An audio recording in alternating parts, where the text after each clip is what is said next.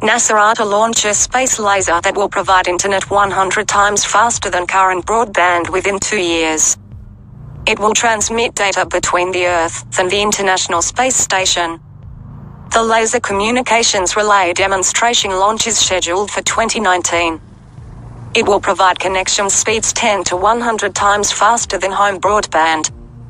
This would pave the way for 3D video and HD remote robotic exploration. A terminal for the International Space Station will also be launched in 2021. NASA is hoping to establish laser links at a rate of over 1 gigabit per second, a speed most home broadband users could only dream of. This would pave the way for 3D video from space, and enable high definition, remote robotic exploration of other moons and planets.